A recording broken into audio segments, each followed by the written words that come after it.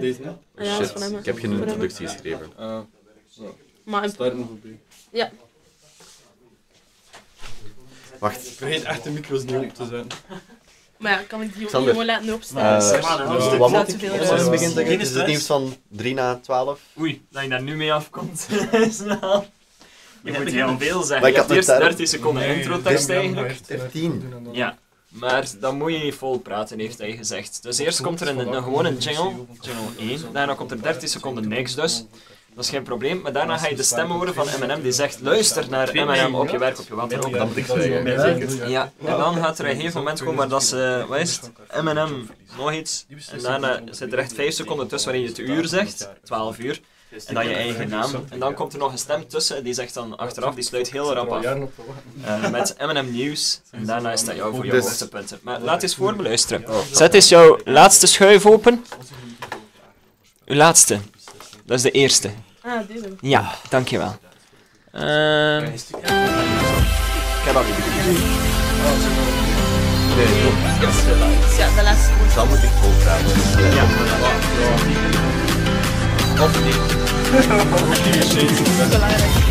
Luister naar M&M onderweg, thuis of op je werk. Download onze M&M luister-app of luister via mnm.be, DAB of digitale tv. Ik moet zeggen. M&M. Dan nu het is 3 na 12. M&M nieuws. Heel snel. Ja. En dan begint het. Oké. Goed. En dan is nu jouw hoogtepunt. Wat is dat? Blijft jij hier staan? hè?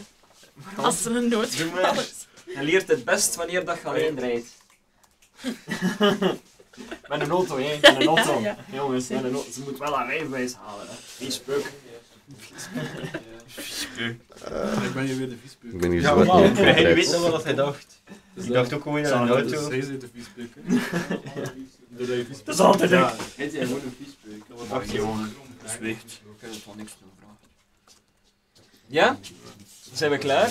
We allemaal in die radiostudio hier staan? Ja, maar ik wil al wel zien hoe dat die techniek gaat. Ja, wel. Kijk, maar het is goed dat ik het, dat niet meer is. Ehm,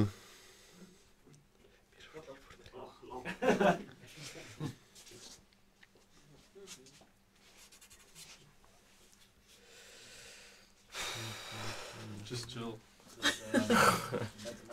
Ik zal u wel- ik ook, zal u wel het is zeggen, eigenlijk in de mate dat ik het kan. moeilijk is. Hè. Ja. Voor, eh, je Ja, dat je zo moet timen en dan is het gewoon de nieuwspunten voorlezen. hè. Mhm. Dat is het. Het is wel... eh, Zijn we aan het opnemen? ja, hè? Ze zijn het opnemen, hè? Toch? Ja. Ja, het is daar. meer moet dat niet zijn.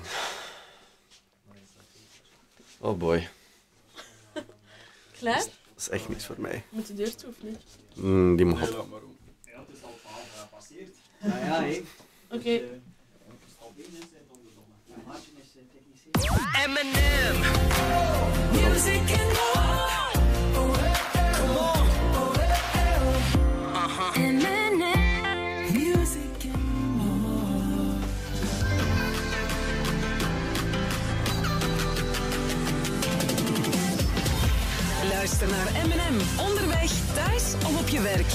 Download onze M&M luister-app of luister via mnm.be, DAB of digitale tv. Ja, Ik hoor niks. Ik weet niet. maar ik, knop ik, hoor... Wacht, en zet uw ding nog Nee, nee, je zit niet.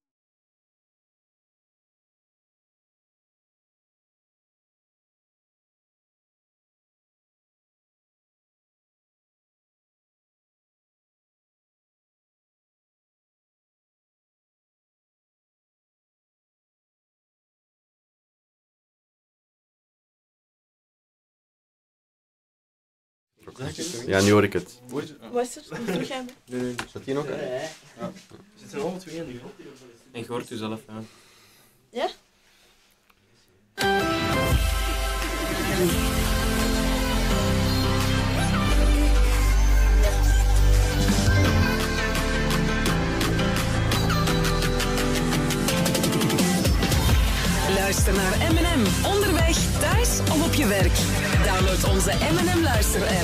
Luister via mnm.be, DAB of digitale tv.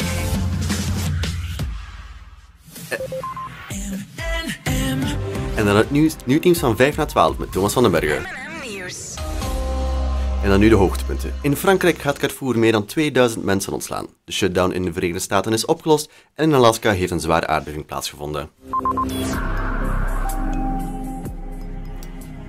In de Verenigde Staten heeft een zware aardbeving plaatsgevonden in de Stille Oceaan, 250 kilometer van de kust van Alaska. De aardbeving heeft een magnitude van ongeveer 8 op de schaal van Richter. De Amerikaanse Weerdienst waarschuwt voor tsunamis door de aardbeving in Canada en de Verenigde Staten, Alaska en de westkust van Amerika.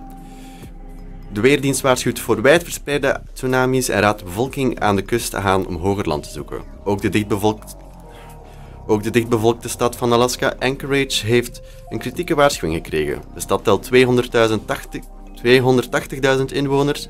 De tsunami kan nu elk moment de kust van Alaska bereiken. Rond drie uur zal de tsunami de Amerikaanse westkust be- bereiken.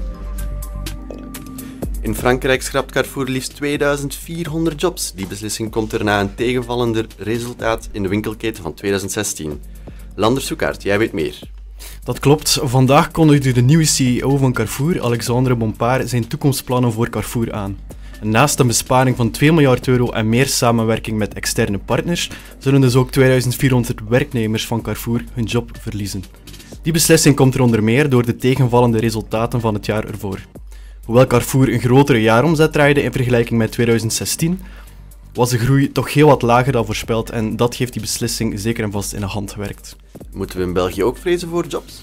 Wel, daar is voorlopig nog niet veel over bekend, maar Carrefour spreekt wel van een rationalisering van de hoofdzetels in alle landen. En dat doet dus vermoeden dat er ook in ons land zaken zullen veranderen. Maar wat die juist zijn, eh, daar wordt donderdag in een geplande ondernemingsraad pas over beslist. Zeker is wel dat de cijfers van Carrefour in België van vorig jaar niet rooskleurig zijn. De omzet nam slechts toe met 0,3%, waarmee België het zwakste scoorde in Hans Europa. En dat doet dus niets positiefs vermoeden. Later dus zeker meer. Alvast bedankt, Lander. In Olmen gaan 120 arbeiders van Culinor Vacos Kitchen vandaag niet aan het werk. Om twee uur vanmiddag staat er een overleg gepland met de directie. Twee jaar geleden is Vaco overgenomen door Culinaire Food Group. Ze maken daar verse bereide maaltijden, vooral voor Al- Albert Heijn. Die directie wil nu nieuwe arbeidsvoorwaarden opleggen, maar daar gaan de arbeiders van het bedrijf niet mee akkoord. Het zijn enkel de arbeiders die staken. De 75 bedienden van het bedrijf werken vandaag wel. Wat verandert er dan concreet voor de arbeiders? Een van de gevolgen voor de arbeiders is dat ze langer zullen moeten werken, maar daar gaan ze duidelijk niet mee akkoord. Ook het feit dat ze tijdens de drukke periode tot 50 uur per week moeten werken, is bij hen in het verkeerde keelgat geschoten.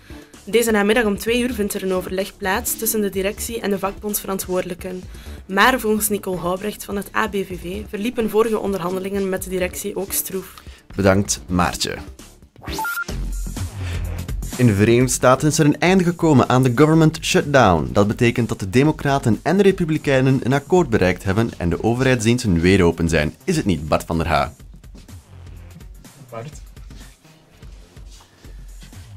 Inderdaad, ja. Na drie dagen hebben de Democraten een akkoord bereikt over de financieringswet met de Republi- Republikeinse meerderheid en is de shutdown voorbij. Door die shutdown werden zo'n 800.000 Amerikaanse ambtenaren met onbetaald verlof gestuurd. De shutdown kost de VS zo'n 5 miljard euro per week. Een akkoord, een akkoord was dus best wel wenselijk, maar de Democraten deden moeilijk. Wat was precies het probleem voor de Democraten? Wel, vorige week wilden de Democraten de financieringswet niet goedkeuren omdat er geen beschermingsmaatregelen waren voor de zogenaamde Dreamers. Dat zijn 800.000 mensen die als kind illegaal naar de VS gekomen zijn en nu volledig ingeburgerd zijn. Zondag hebben de Republikeinen beloofd om het debat hierover opnieuw te openen als de Democraten zouden meewerken om de shutdown te beëindigen. Dus het financieringsprobleem is helemaal opgelost. Eh, eigenlijk niet, want het akkoord loopt maar tot 8 februari, dus de activiteiten van de staat zijn maar tot die datum gegarandeerd. De Amerikaanse overheid moet dus zorgen dat er tegen dan een lange termijn begroting zal zijn.